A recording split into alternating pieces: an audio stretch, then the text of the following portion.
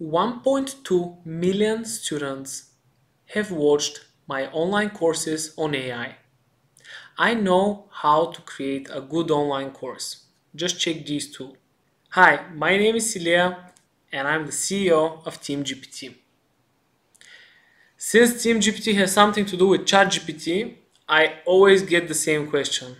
Hey Iliya, how is ChatGPT useful for my work? Is it useful at all? I don't trust it. I've tried it and it doesn't work for me. Maybe it works for your dumb, stupid use cases, but you know, it doesn't work for me. Now, I'm answering everybody the same thing.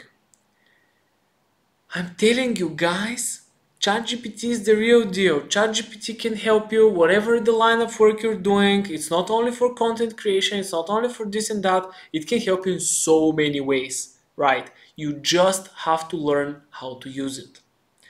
Now I'm tired of telling. I wanna I wanna show people. I don't wanna tell them. I wanna show them.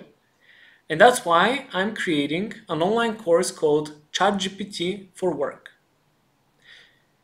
I will be using a lot of ChatGPT while creating it. And most importantly, I will be doing all of this in public, mostly uncut. This means I'll be recording myself while I'm thinking about a course, every time I'm using ChatGPT for something, I will be recording this. I will be showing you how a course is created using ChatGPT about ChatGPT. A bit meta, but anyways, this is the only way to show you the real power of this tool. I'm inviting you to follow this journey along so you can learn how to use ChatGPT for your work how to create an online course, why not?